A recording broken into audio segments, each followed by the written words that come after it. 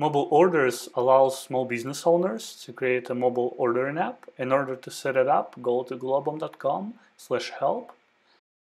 When the app is set, you'll be able to open a Google spreadsheet and put all your products over here.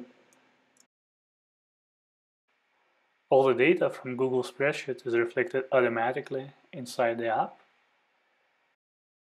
When you click on a particular product, you'll be able to see images and even videos. To place the order, you need to go to the Orders tab and put your name and press Place Order. All the orders go to the Orders tab inside the spreadsheet and we can see that we placed the order right now. Let's also place multiple orders. Let's order multiple products. So when we press place order, it reflects automatically inside the Google spreadsheet.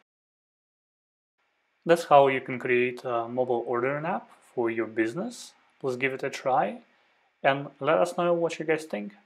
Thank you.